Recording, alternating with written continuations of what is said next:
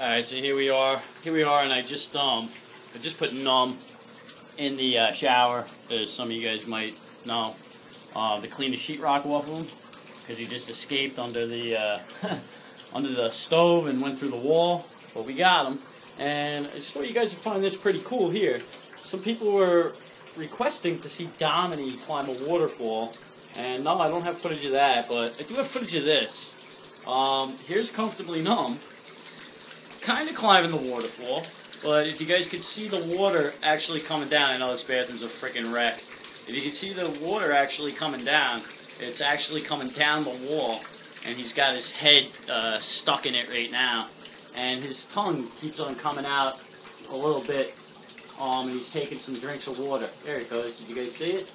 That was totally cool. Uh, the phone's getting a little wet. Let's see if he can, if he'll do it again. I might try and get the other camera real quick so we so I can get a better shot of this. But and he's not trying to get out of there. If he was trying to get out, believe me, um, he'd be out of there. That's uh, we're not going to question that. But yeah, he's just kind of hanging out. As we saw him, we, we set him in the in the bathtub, and as soon as I turned the water on, he went over towards where the water was coming from.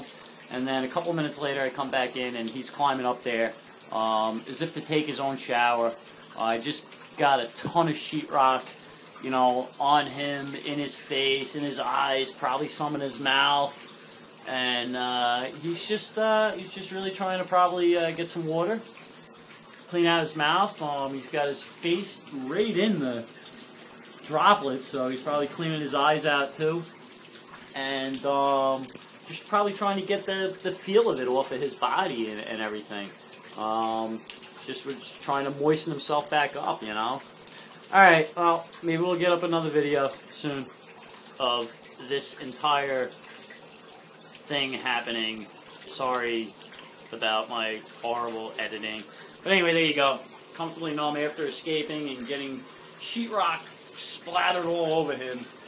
Taking a shower and getting a drink, too. There he goes again with the tongue. Alright, guys.